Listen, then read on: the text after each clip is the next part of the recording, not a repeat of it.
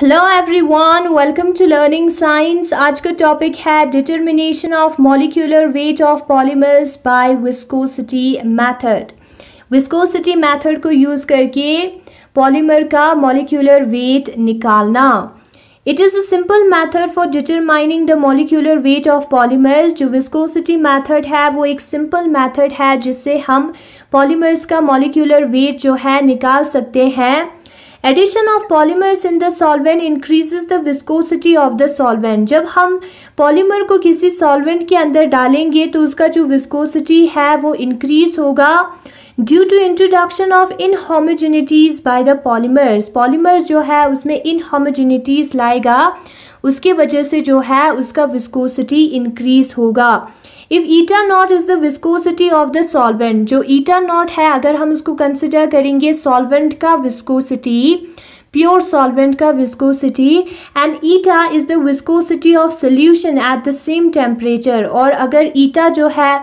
Solution का viscosity होगा। Polymer को डाल के जब हम सोल्यूशन बनाएँगे, उसका विस्कोसिटी बन जाएगा ईटा सेम टेम्परेचर पे। Then the relative viscosity is given by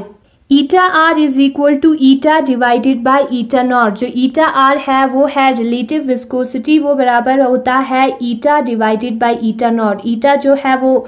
solution का विस्कोसिटी है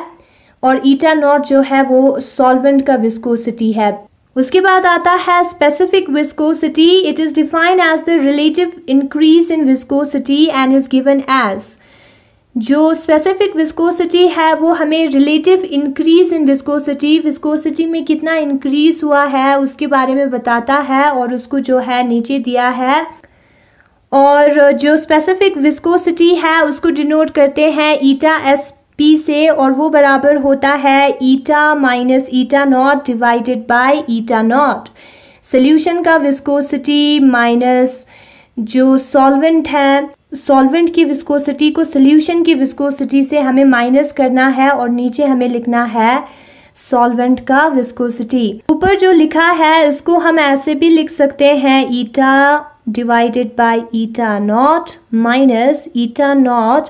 divided by eta naught तो ये चीज़ जो है, यही बचेगा, ये और ये सेम है तो कैंसिल होके आ जाएगा वन तो eta divided by eta naught minus one जो है, वो है स्पेसिफिक विस्कोसिटी फिर उसके बाद आता है reduce viscosity it is defined as the relative increase in viscosity per unit concentration of polymer and is given as जो रिड्यूस विस्कोसिटी है, वो relative increase in viscosity per unit concentration के बराबर होता है। यानी कि eta S P divided by concentration C of polymer के बराबर होता है। तो जो eta R E T R E T means reduce यानी कि रिड्यूस विस्कोसिटी वो बराबर होगा eta S P divided by concentration C of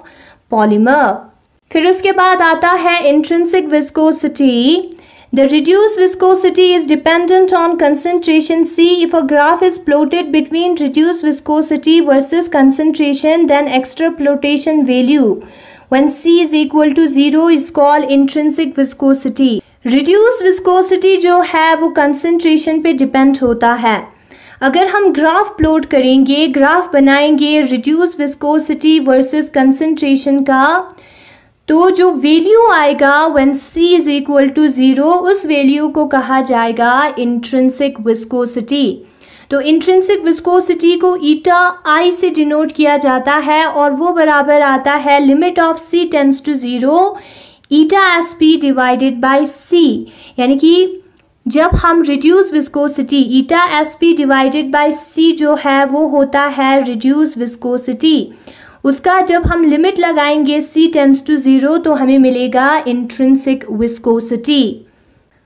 तो यहाँ पे आप ग्राफ में देख सकते हो वाई एक्सिस पे जो है रिड्यूस विस्कोसिटी दिया है this is is equal to reduce viscosity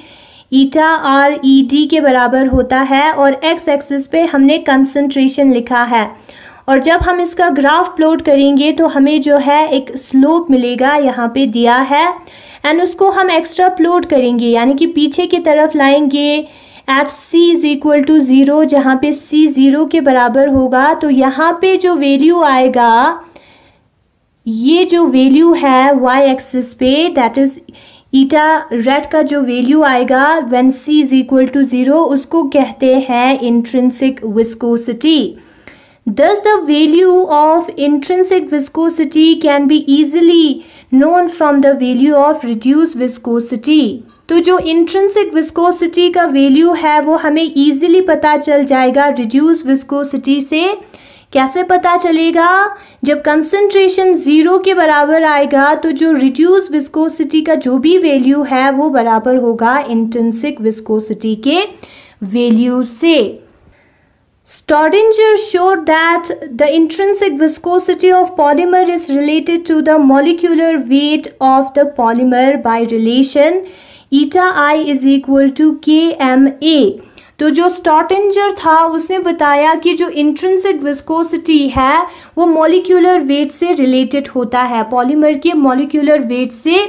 related होता है और हमें क्या निकालना है? मॉलिक्यूलर वेट ऑफ़ पॉलीमर तो जो इंट्रेंसिक विस्कोसिटी है, वो बराबर आता है के एम पावर ए जहाँ पे एम जो है, वो मॉलिक्यूलर वेट है पॉलीमर का। पॉलीमर का मॉलिक्यूलर वेट है।